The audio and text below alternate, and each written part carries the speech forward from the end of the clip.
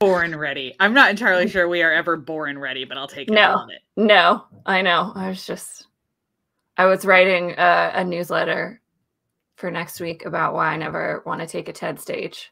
It was. So you have some thoughts and feelings at the moment. it was fun to write it. I enjoyed. I was like, "There's things." I I think I end with something like sneak peek into next week's newsletter, kids. If you watch it, if you get it, um, think I end with something like, you know, for everything that we do, I'm pretty much always going to be right next to Dr. Kristen, except when she steps in that red circle. Then I'll be backstage holding her bag. so so true. Or in the audience, as you will be in Chicago. Or in the audience. Yeah, I won't be Yes. backstage, but in Chicago, I'll be in the audience. Yeah. in Chicago. Yeah, that's like there was I was talking to somebody today about like one of the things that we're different at and I was like, "Well, just wait until we figure out all of our Clifton strengths and then we'll be able to articulate this a lot better."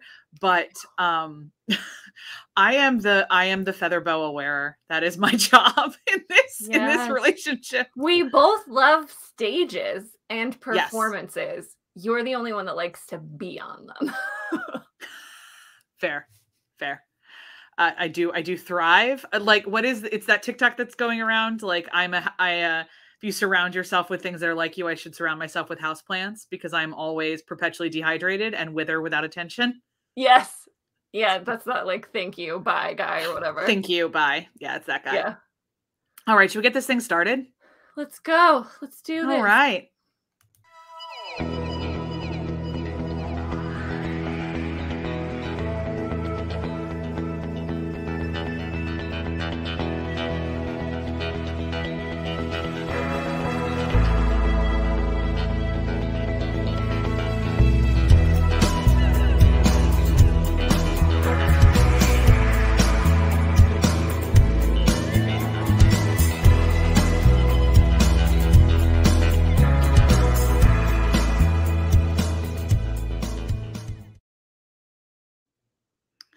Well, good afternoon, everybody. Welcome to Tuesday, October the 5th. Hello. Hello all. Even our beloved replay crew, podcast folks. Whenever you're catching this, we love you. Thank you for joining us today. It's a gorgeous fall day in Pittsburgh. I don't know what it's like in Philly, but it's so nice out. Wouldn't use the word gorgeous for this side of the state, but we're making it work. It's just a little bit dreary, overcast, and still kind of humid. It's kind of Mm. like one of those weird fall days where it manages to be both 65 and 80% humidity. Oh my god, that was actually on, on Sunday. It was like soup outside. Yeah, it's weird. Things are weird on this end of the state, Yeah. which um I mean, it's not that abnormal if I'm completely honest. No, no. And things are weird in the world, which They is, are. I think, my transition into the literal boatload of empathy exercises we have for today. Like I couldn't Well- even open them all in the tab. Like I have to I have to like stage them. For anyone who is joining us on the podcast, know that here on the YouTubes, we're starting something new today in which we figured out how to share our screen. I know, my gosh, welcome to 2021. And we're gonna be putting the empathy exercises up on the screen as well as talking about them. So that's what's going on. If we giggle and if we giggle every once in a while, it's because I did something silly with the tech. But uh, we think this is a good way also to let us read it at the same time because otherwise we're like looking off in 25 different directions. So this is this is exciting. So first one up um, is an update on something that we've done. Um, I think we did a whole a whole hottish take on it. We did. We did. It is now, yeah, a hottest shake and a podcast episode. And a podcast Um, episode. Too long didn't read. Uh, the woman pictured here, Sarah Everard, was murdered earlier this year. Yes, in London. Yes, I believe. in on the third of March. on the 3rd of March. There we go. Um, abducted, sorry, abducted from London, um, murdered in Kent. Uh, it created a whole series of, of protests because she was walking home alone, and the Metropolitan Police just stepped in it like 8 billion times, which they continued to do even last week. Um, in, in short, making the argument that it is the woman's responsibility to ensure her safety when she's out in public or other marginalized folks, but specifically in this case was talking about young women out and about. Um, we found out that Sarah was uh, abducted and mur- raped and murdered by a serving Metropolitan Police officer. His trial was last week, which is why it's back on our empathy exercises updates. Wayne Couzens was sentenced to life in prison without parole.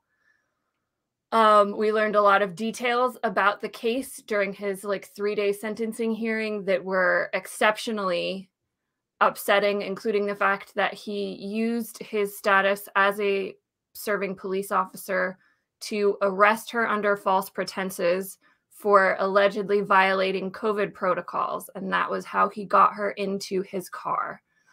Um, to wit, the Metropolitan Police, uh, the second part of our empathy exercise uh, for this is the Metropolitan Police announced after that little tidbit was made uh, apparent in the sentencing hearing that if women in London or anywhere where the you know UK police serves feel unsafe when confronted by a police officer, they should flag down a bus or a taxi. Lol, JK. At what point is it resisting arrest? And what do we do when it's a person of color? And are they actually having a laugh? Like, this is one of the dumbest things I've ever heard. For anybody, I scrolled a little bit earlier for anybody joining us on the YouTube. This is uh, Cressida Dick, who is the Metropolitan Police Commissioner currently, and um, who I honestly don't know has thought about life outside of the Metropolitan Police in a long time because all of her statements on this have oh. been a little bit from my per- from my perspective just a little bit shocking in how she doesn't seem to understand how the world works. How the world works.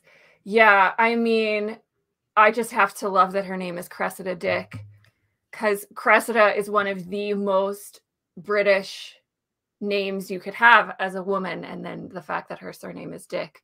Um, but yeah obviously that unleashed a whole new set of protests from women.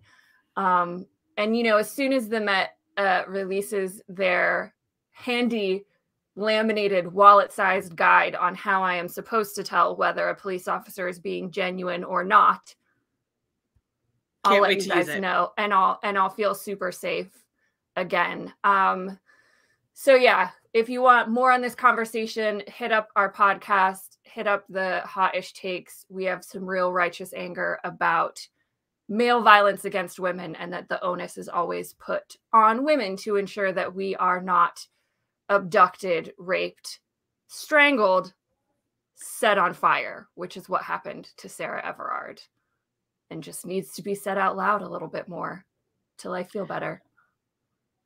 Yeah, which will be sometime probably in 2025. Sometime um, probably never. Speaking of things that are terrible, we'd also like to talk to you about Madagascar, which is currently experiencing the world's first climate change induced famine.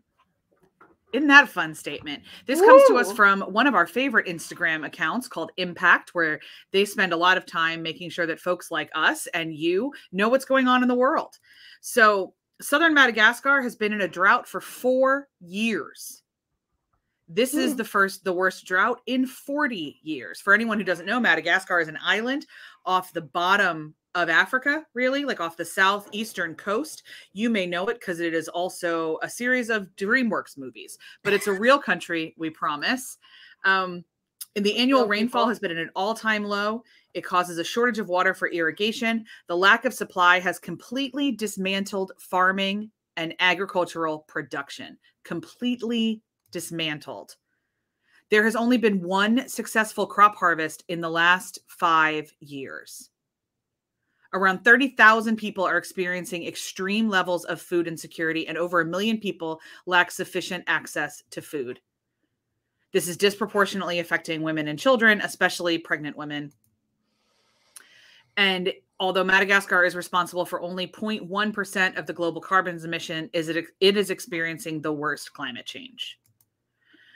If we don't act, it's a major issue. We're going to have links in the bio here to what to what Impact recommends. The World Food Program has a specific uh, thing right now to donate directly to Madagascar, as well as an organization called Action Against Hunger. Um, that is in general, but then also please know that any, um, I think any climate change charity worth their salt is also worth some of your cash right now.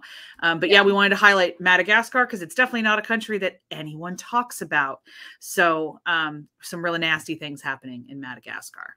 Yeah, and uh, one of the things that we learned a lot on our Colonizers World Tour with stops in beautiful places like Fiji and Papua New Guinea and uh, the like, is that statistically, the places that produce the least amount of climate change occurring fuels and carbon emissions and all that stuff are the ones disproportionately affected by it. So Yeah. it's all these tiny island nations around the world that are literally disappearing.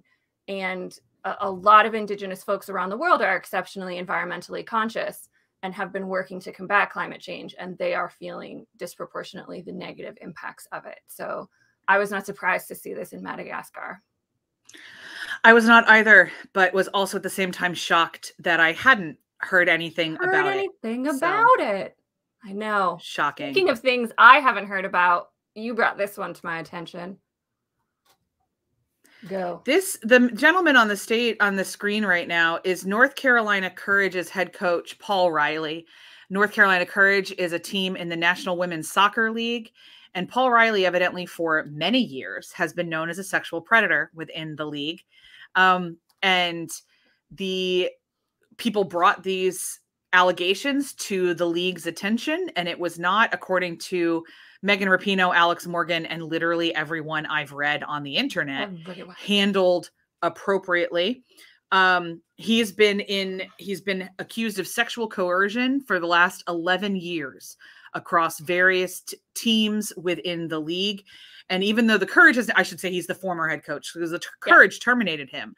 Um, but like the league knew there's some really Mhm. clear receipts that the league knew.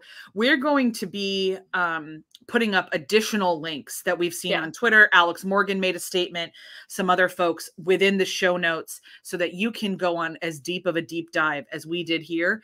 Um, but obviously, we would like to say that institutions will always protect itself. So the hand wringing we're getting now from the NSWL is um, a little bit we're side eyeing it a little bit because 11 years is a really long time to hide something in a league as small as the NWSL. And I I'm I struggle to believe that this I struggle to believe that this is what it was it took to make women safe in a league that is entirely supposedly built on women's athletic ability. Uh, so this is particularly grievous from our perspective. We are Mhm. glad that he is no longer employed. We are currently skeptical that the league has done anything to make sure this kind of thing won't happen again. Because the the news that came out today, and again the link will be in the show notes, was that this is the third coach or the third posi- person in a missed that. position. I yeah, that was like the news today. Um, thank you, the skim. Um, it's definitely in the link in our uh, Trello card, so it'll show up in the show notes. That Great. there's been at least three administrative level men working in the NWSL um, that have been accused of misconduct and abuse, from bullying to like the, your man here like coerced one of the players into having sex in the hotel room. So runs the gamut of abuse and assault. I didn't freeze on screen, my face froze in shock. Okay. So Yeah. after all of that, all of that heaviness, we do have a breath of fresh air for you guys. I know. We do have we are going we would love to introduce you to Jesse Bascal, pictured here, Nola Rola. who has made the NOLA Rola guide, which is a guide for accessibility and tourists and locals in the city of New Orleans. This is amazing. We love it. Super excited. Just going to scroll down here. There's Jesse. Hey Hi. Jesse. Thanks so much. And uh, this is a great write up in the very local New Orleans uh, website. And we will be linking to it as well. And I'll be honest, going to be really excited to um, give custom to some of these places as able bodied folks to support their their focus on wheelchair accessibility. We love making sure that we're doing that. So we're planning a trip to New Orleans the next couple of years. Um, just either for funsies or trying to find somebody who'll pay us to go. Keep you guys posted. yep. Uh, and we will make sure to save this article for a list of where we should go when we head there. We're very excited. For reals. Okay, so you got your breath of fresh air. You guys ready? We're going back to depressing shit. Here we go. Here we go. Ignore the fact that I haven't paid my subscription to the New York Times yet, and please focus on the top, which is something that Dr. Aaron found. So I'm going to let her talk about it. But the headline says more than one half, more than half of police killings are mislabeled. Yeah, yeah. So I'm gonna uh, read from this a little bit. Um, there's a new re- new research that tells us that police killings in America have been undercounted by more than half over the past four decades, according to a new study that raised questions about racial bias amongst medical examiners and highlights the lack of reliable national record keeping on what has become a major public health and civil rights issue. The study was done by the University of Washington and published last week in The Lancet. So, I mean, this isn't new news to a lot of us that have been following ongoing civil rights protests for police accountability, police brutality, police reform, all of all said uh, things. Um, so, if you have the New York Times subscription or you find the art, the information else elsewhere, take a look at the stats to back up what we all know. Um, and you know, we talk about all the time uh, here at Abbey Research what what systemic means, what it means when something is systemic. Systemic racism means that it is everywhere. So it's not just the police, it's the biases that exist about black and brown folks in all parts of society, including medical examinations, including court cases and all of these things. And it's a whole conspiracy of biases that work together to keep supporting that systemic racism, that institutionalized racism. But everything's great. Everything is great because next up is something hilarious that I found uh, coming to you from your Indian country correspondent. Um, was delighted to see that Comedy Central has partnered with uh, a Native American animator who's Joey Tainment. He's tagged here. Joey Clift. Clift. Yeah. Um, to create this fantastic video about uh, so you're upset about Native American mascots being changed. Uh, obviously, Comedy Central, it's done tongue in cheek and points out how we can all change our patterns and behaviors uh, around these changing mascots so that we're not being so offensive. But I encourage you to watch it. I encourage you to share it. It's a fun way to start this conversation, hopefully, and get people laughing about it, if nothing else. Yeah. And another way to start a conversation, as we always talk, is when representation shows up in different ways. And so this week on, or last week, on the drag race season that's happening in the UK, um, Dr. Aaron found this one as well, but as she's scribbling timestamps, I will say that um, as your um, body positivity correspondent, I yes. was very happy to see this. There was evidently a, mar- a remark made at a queen about the queen's body size, and that queen came back and said that that was came back at the teaser and said that was really inappropriate. And this article doesn't cover a whole lot, and I've had trouble finding the episode because we're not in the UK. And Drag Race UK for this season hasn't showed up on our Amazon Prime yet. Uh, but I look forward to watching this and seeing this conversation because what is reported is that it was a powerful chat about different people's bodies and how it works. And of course, um, there is there is the the queen in question and her tweet says i love every curve lump bump stretch mark scar and discoloration. Without this beautiful vessel i wouldn't be standing here where i am today.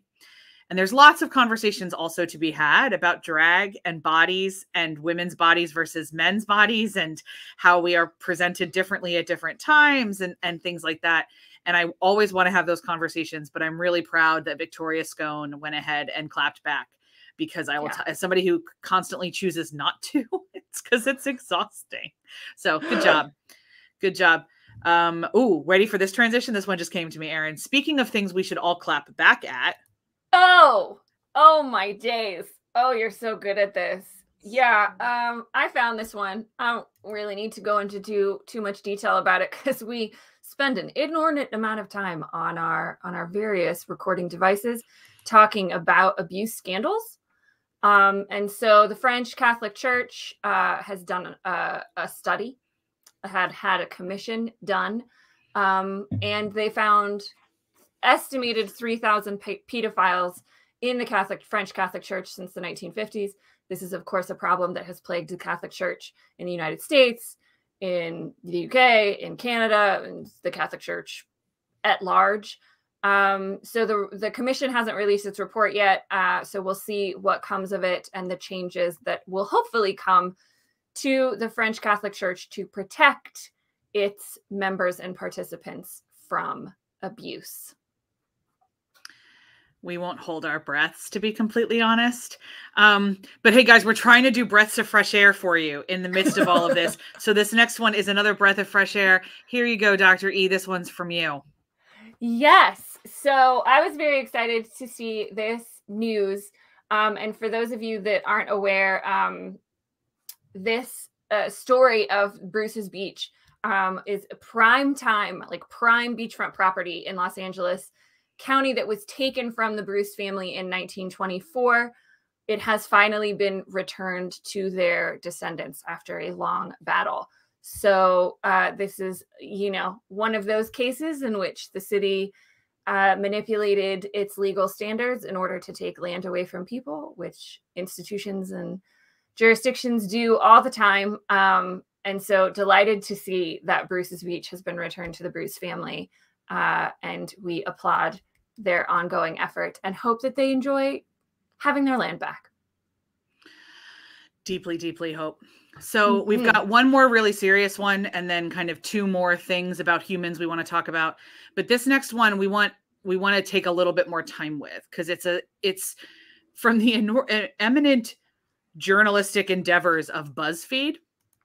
I'm going to go yeah. ahead and zoom in on this a little bit here because I think it's, it's some important stuff as we scroll.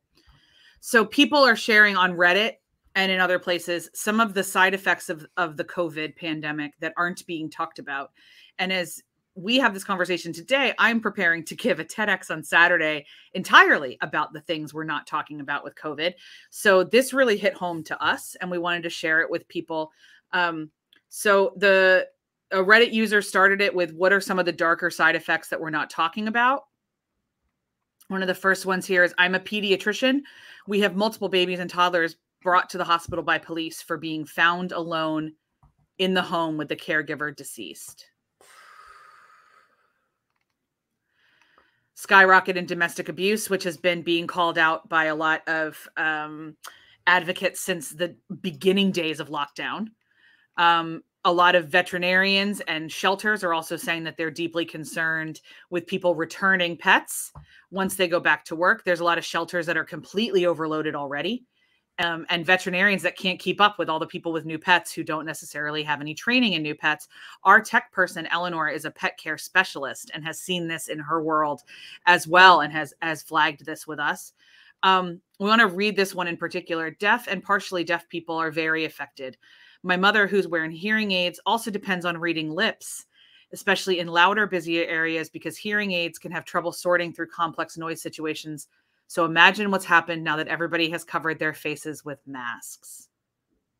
Yeah. We also hear that that you know returning to the office is nervous for some hearing and and partially deaf people because masks you can read lips on zoom and so the zoom meetings are really great but you can't read lips once you go back to the office there's not a, a desire to do that um, and then this is one of the ones that hits us the most. My high school students are woefully lacking in terms of behavior and meeting social expectations. They have no idea how to function at school. This group has been affected by the pandemic since grade eight, which is when work habits tend to take form. This is going to take a few years to rebuild. And I'll say on this, our wonderful listener, Jay, has just affirmed that she doesn't hear super well and hearing muffled voices is so hard. Um, and I think that's I know I have become incredibly more aware of my diction while wearing a mask mm. than I ever was before because I can't I can't imagine it. So this article goes on and on. We're going to stop the depression here. Um, because those couple ones at least are worth thinking about. And we're going to yeah. link this article in the show notes. We would encourage all of you to sit with some of these just a little bit and uh, we certainly will be over the next little bit. I'm actually going to make sure that this is shared. This link is shared in our social media when we talk about this TED, because mm. it really does, in fact, illustrate everything I am about to say in four days. That Once I finish memorizing it, you're so close. It's remarkably prescient and timely. Um, especially as you know we have been uh, living on the hill we will die on that uh, the phrase back to normal is very very damaging and harmful um, because we can't ever go back to normal. And also you know normal wasn't great for a lot of people. So it's not it's not something i think for we should aspire to go back to. So I think also just really funny. We're here on my browser, so I just got told that my that my Time subscription ran out, and here is the advert to subscribe to the New York Times here on BuzzFeed. Oh, I hate the inter- internet. Internet, thanks for stalking me. I hate the internet. Here you go. Here's something else I don't necessarily hate. I know this was exciting news. It came to uh, my attention today uh, that the family of Henrietta Lacks, their estate, are suing the company who stole her, who uh, have been using her stolen cells. So the company is. I'm Isn't it Thermo Fisher?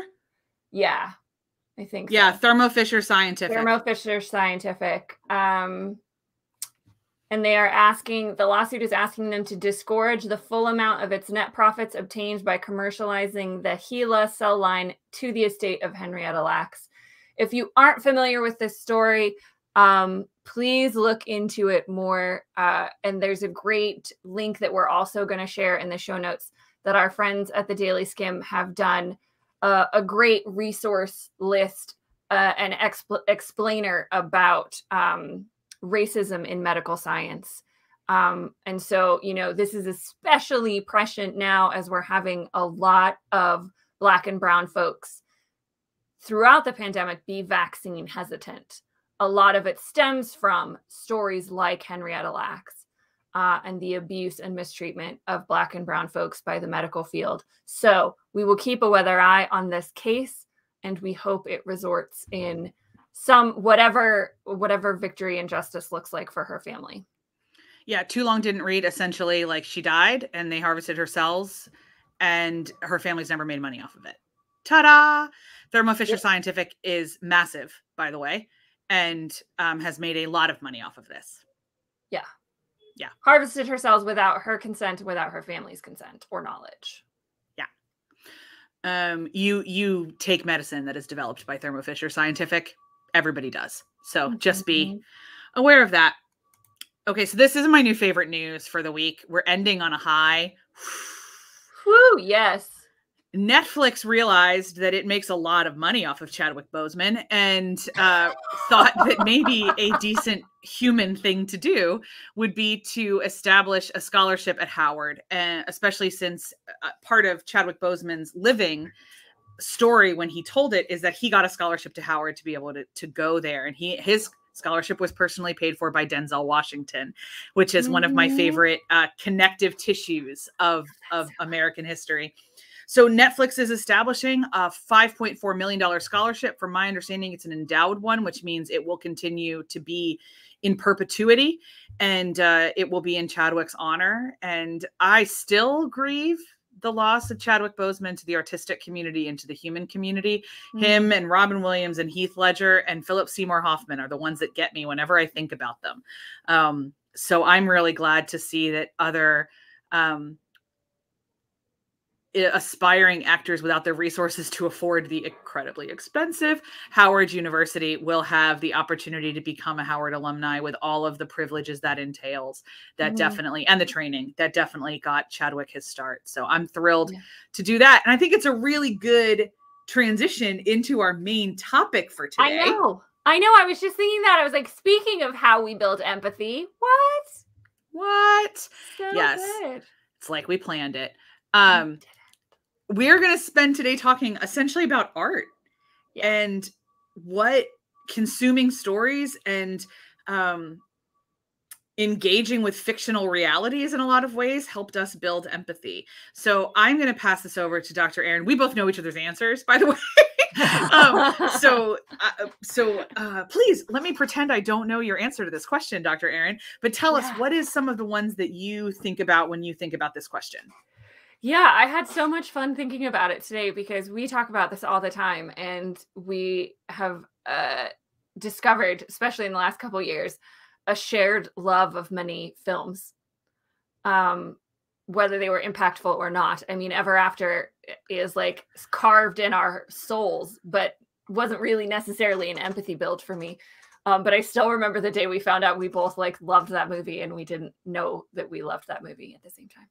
Um, but I had a good time thinking about it today because I was like, I have the answers that like Dr. Kristen knows um, that we talk about a lot. But for me, it's really it can be like big things like Black Panther was a big empathy build for me, but a lot of the ones I thought of were smaller ones where it was it was just not necessarily the piece of art was entirely about a situation um, but a care what a character experience kind of opened my eyes to a different experience for you know women or men or disabled folks or or whatever category of human we're looking at.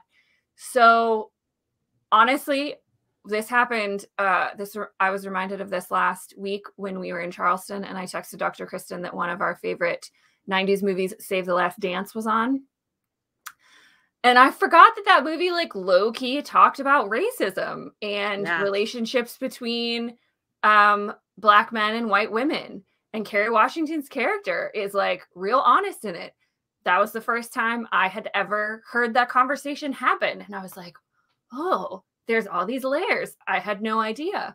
Um, Center Stage was one of the first times, it's an absolutely ridiculous film, but it was one of the first times I remember seeing a character struggle with an eating disorder. And like that was, it was done in a really empathetic way.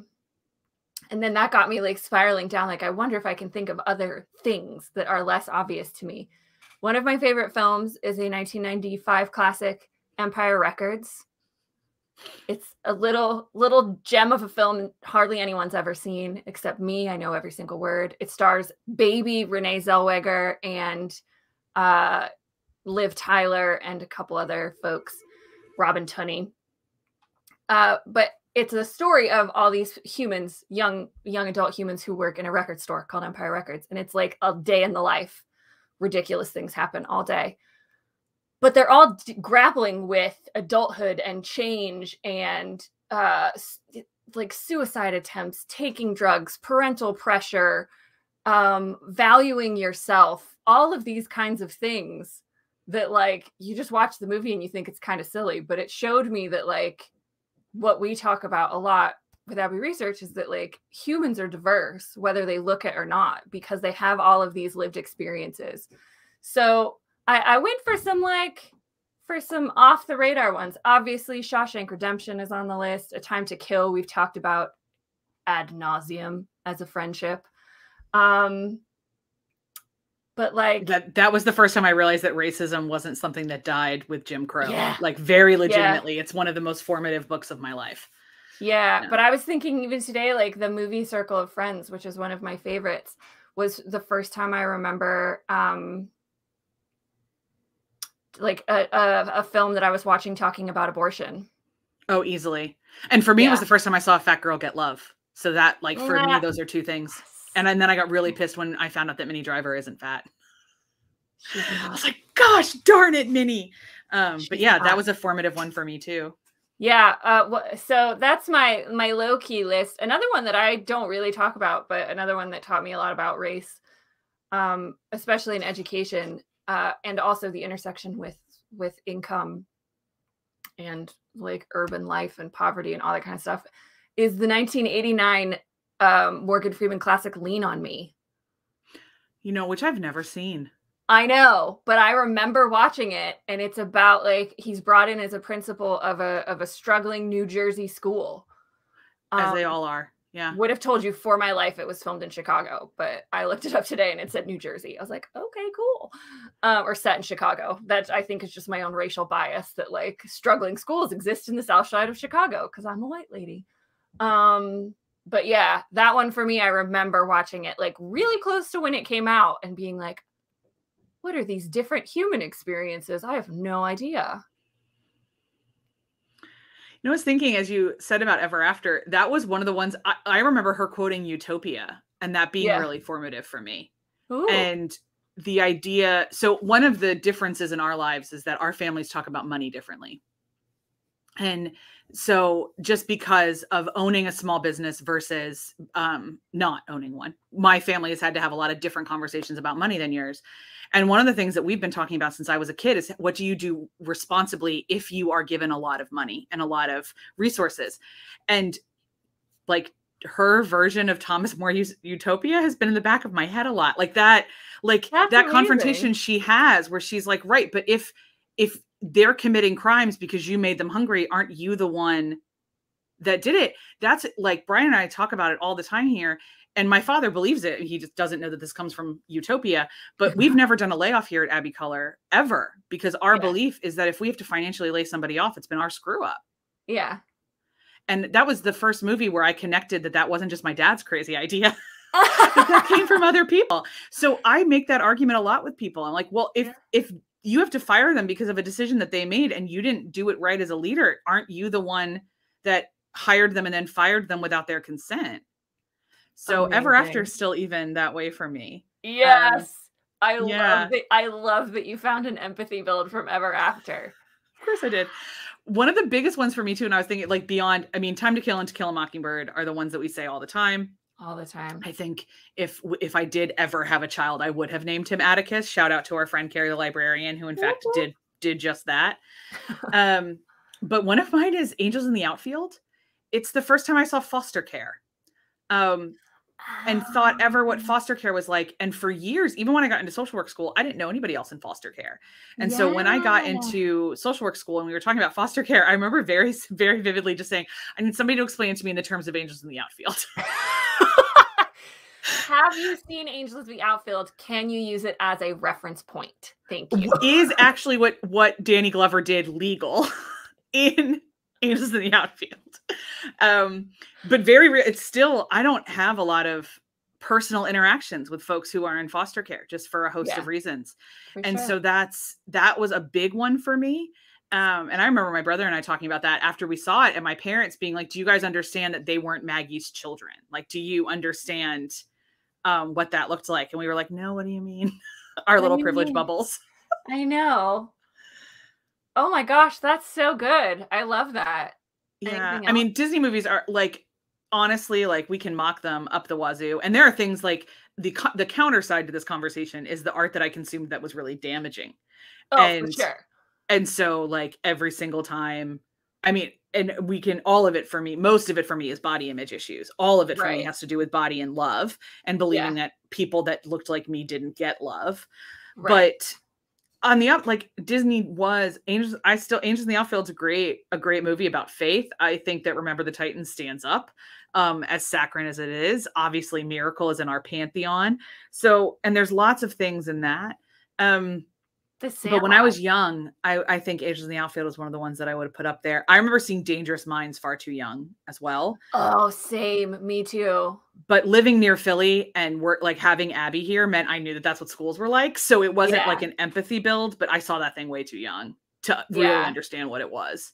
List of movies I saw way too young. Dead Poet Society. Definitely. I remember, I just remember this. Um, was probably one of my first empathy builds about suicide. Mm, Um, I think Yeah. I probably saw that way too young. Dangerous Minds, way too young. Oh, there was another one I had just thought of, but it's gone out of my head where I was like, I was in third grade when I went to a sleepover and we watched Grease, and they had to explain that Rizzo got an abortion. That was, I was in third grade for that Yeah. one. Yeah, I must have seen Grease early, but for some reason, Like like, Circle of Friends is the first one that stuck because like Dirty Dancing is I saw that right around the same time. Oh, so for me. Dirty Dancing is the first one where I realized that that that's what happened was that there I was definitely I went through my 80s movie love phase. Talk Mhm. about damaging, like high films of John Hughes. Um mm, um but I went through that phase after Circle of Friends. fair. And I came to Circle of Friends after I came to Dirty Dancing, and so that's but like Dirty Dancing is also damaging for me because of what Jennifer Grey looks like and the and the dancing scene that there's no one that ever looks like me in those movies. So for sure. Um, it- well, I saw if I had seen Hairspray when I was little, that would have been a really big empathy build. Such a Um, and I still John Waters is a nutcase, but I still stand by his work. I love I love John Waters so much. yeah. Yeah. Uh, yeah, and a big one for me in terms of empathy building too is theater. Yeah. Obviously, I saw Miss Um, Saigon when I was in seventh grade, and I know now all of the problems with it, and I understand the Asian American community's hatred of that musical, and I respect that completely. But I, no joke, that was the first time it ever occurred to me that Americans killed humans in the Vietnam War and Mm, not like video game characters. Yeah. Um, yeah. the song still the song that opens the second act which is um, they are the living reminders of all the good we failed to do that line is the is this about the bui doi which is the children of vietnamese women and american soldiers. That line still whenever someone talks about the vietnam war that's the line that comes to mind. Yeah and i saw that in seventh grade with my grandma who bless my grandma had no idea what she was taking me to. No idea whatsoever. If anyone has seen Miss Saigon, it opens in uh, um in an exotic dancing thing. Miss Saigon is the title of like a fake beauty pageant that they have. Uh-huh. So uh-huh. my incredibly like not just politically or religiously but culturally conservative grandma Yeah. just very calmly took off her glasses because we were in the third row. As these very talented dancers are shaking their asses in her face, Bessa just like took off her glasses and said, "Let let me know when they're clothed." It was like the most, but it was like she didn't oh, she didn't shame me for wanting to see it. Like she didn't. Yeah. It was still this very like generosity of how we do, of how we also consume art we don't agree with. She just took off her glasses. She didn't make a stink about it. She doesn't want to see that. Right. Um, so I love that. But but Miss Saigon's one of the more important theater moments of my life, which is why I defend the musical, even though I understand its problems. yeah. I mean, I think for me, my mom absolutely loves the music from South Pacific.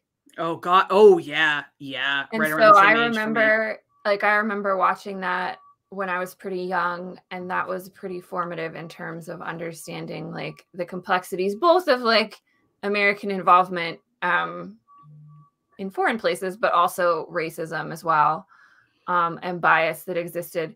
So yeah, I mean, I think you guys can tell from our conversation, right, that like anything can be an empathy build, and that was kind of why we thought this conversation would be a good one because a lot of people think it can be inaccessible or that you have to watch serious things, serious things in inverted commas. Um, and we watch a lot of those these days uh, in our adult life. Um, and we learn about a lot of things through them and a lot of different human experiences. Um, but if you actively and intentionally seek out diverse storytelling, those are empathy builds Mhm.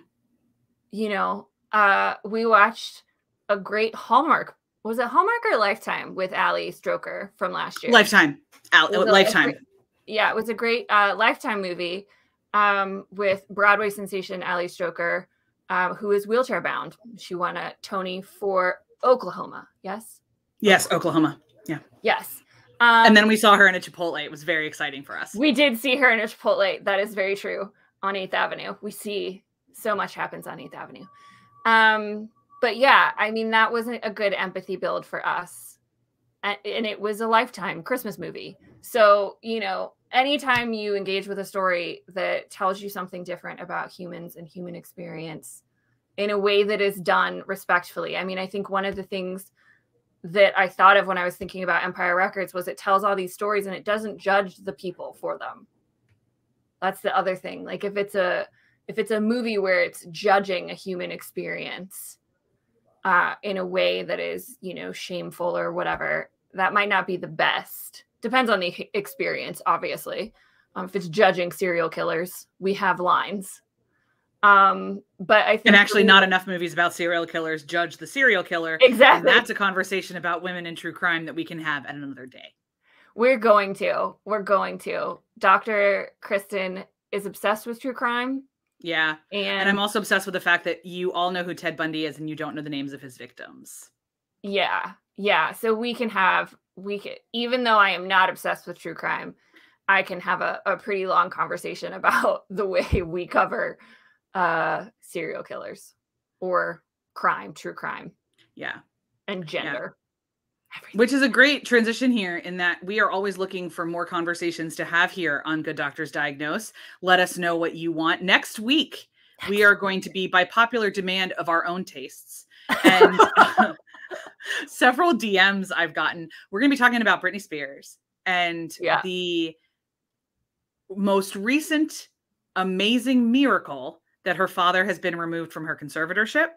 uh-huh. And if you don't know why that's a miracle and an incredible act of actual justice, there is a um, really handy podcast that these two ladies that you may know have just released. Uh, we'll link it in the show notes. Their names are Kristen and Aaron, and they've gone Okay. over the Britney Spears case uh, from their entirely non legal but entirely passionate feminist perspective and uh, you can listen to that. There's also, as always, no shortage of commentary about the legal Yeah. side or cultural side. Um, so next week we're we are going to be talking about the the recent Hulu documentary, the recent Netflix documentary, and the recent, um, which included some revelations we have thoughts on with capital T's, as well as the legal stuff. We'll be getting our updates from um, the YouTube legal commentators that we know, so that we can uh, head over to you. So next week will be uh it's all it's Britney bitch and we are Yes. very excited to talk about her. But in the Yeah. future we're planning on maybe doing some more of these good doctors diagnose around themes that where there are documentaries coming out about it. So for example, would you like a good doctors diagnose on multi-level marketing and the LuLaRoe documentary that just came out? Um, there's another option of a really toxic weight loss thing that I did as a child that we can talk about. Um, we're happy to kind of brings a little bit more specific cultural artifacts into Good Doctors Diagnose if that's something you guys would be amenable to. Yeah. Uh, we're really looking forward to hearing from you about what you want. Because as always, we talk to each other literally all the time All we the time. turn on the cameras for y'all and we uh, always want to know what we can serve you with and how we can help you figure things out and for anybody who's been following us on on colonizers world tour we promised you that we would figure out what the hell bitcoin is we want you to know that we are getting closer to understanding it getting a lot closer it's taking a Herculean effort on both our parts. Um, we're very thankful to a particular podcast episode. Uh, why is this hap- with why is this happening? Uh, when Chris Hayes, we're very thankful to Dr. Kristen's beloved husband John for his ability to explain these topics to us uh, in a way, in a language that we understand. Um, so yeah, we might just do like a a good doctor's guide to Bitcoin to cryptocurrency. the, the the skeptical idiot's guide to cryptocurrency that that might be us because that's we are skeptical idiots about this We're a little bit but we're trying to get there I'm not so much of an idiot. I'm still pretty darn skeptical right now. Yeah, yeah. The the it, the skeptical skeptical cryptocurrency for dummies is that the brand of books that Yeah. Maybe yeah. something like that. We'll figure it out. But that's a, an example of something that we are researching in the back end of things that we'd love to tell you guys about if you care and if we can serve you in that way. Yeah. I think that's all we have for today. Dr. Aaron, anything else? I I don't have anything. Um, if you want to prep for next week, bring your questions and thoughts and comments. If you also are enthralled by what has happened to Miss Britney Jean Spears, um, controlling uh, Britney is the New York Times documentary on Hulu. It is a follow up episode to Framing Britney Spears, which we covered both on our YouTube and podcast. And then uh, Britney versus Spears is the documentary on Netflix, which is like I was still I was watching Britney versus Spears this week, and it's still like the two of them together put a lot of pieces together, but there's still holes in the story. And I think I titled our GDD for next week like Britney Spears update colon why we're even angrier now. Yeah, honestly. And I one of the things I will say, we will get into the very nature of conservatorships. Yeah. even more than Britney herself. Um, there's definitely some things that are specific to Britney, but in the same way that as we talk about Taylor uh, Swift over the last 20 years, and she is the lens through which we can view feminism. If we talk about Britney Spears over the last 20 years, she's the lens through which we view celebrity. And there's a lot of, of conversations about parasocial relationships within the Free Britney movement um, but also just legitimately that uh, conservatorships are kind of crap. Um, and one of the weird hiccups of the American legal system that we need to be talking about a little bit more. So we're Yeah. going to. Exactly. So if we don't see you elsewhere on the YouTubes or the podcasts or the socials, we will see you next Tuesday. We will be in Chicago. We will be together getting ready for the second part of TEDx Mania, as I have dubbed this two weeks period of our life. Um, so we'll see you from our hotel room in Chicago. See you guys then. Bye.